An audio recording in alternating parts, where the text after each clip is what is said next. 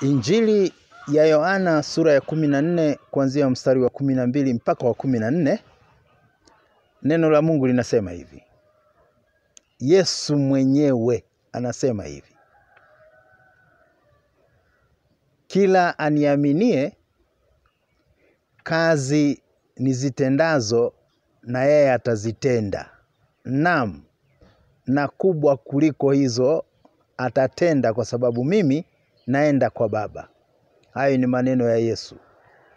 Ukimwamini Yesu utapewa uwezo wa kufanyika mwana wa Mungu, na ukifanyika mwana wa Mungu, kazi alizozitenda Yesu na wewe utazitenda, naam, na kubwa zaidi ya kazi hizo utatenda.